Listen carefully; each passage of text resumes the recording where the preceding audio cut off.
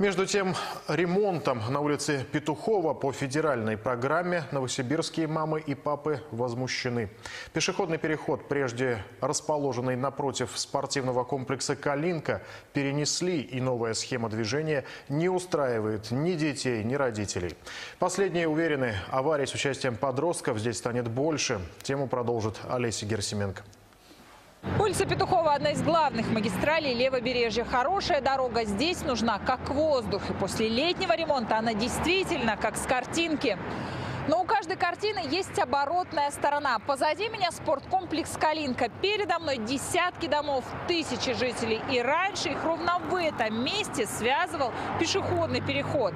Теперь пешеходный переход перенесли за 100 метров, что крайне неудобно для детей. В попытке сэкономить время и срезать путь дети-спортсмены идут по прямой, то есть там, где прежде и был переход. Только сейчас здесь сплошной поток машин. Хоть мы их и просим ходить по пешеходному переходу, но я сама лично видела несколько раз, что перебегают дорогу вот здесь по прямой. Теперь никому из детей нельзя попасть в спортивный комплекс, не перейдя перекресток. А, А это самое опасное. всегда пешеходный переход должен быть напротив детского учреждения. Как бы это, это логично, потому что э, пешеходный переход, э, светофор, он должен быть э, удобен, удобен и безопасен э, для детей. Но в понимании безопасности родителей официальные службы расходятся. Пешеходный переход, светофоры демонтировали и перенесли по федеральной программе «Безопасные и качественные дороги». Ее главная цель как раз снижение аварийности. Сейчас все по ГОСТу. Знаки, островок безопасности. Иначе штраф 300 тысяч за несоблюдение требований. В связи с этим было принято решение, опять же, не, э, даже не ГУБО это было принято решение.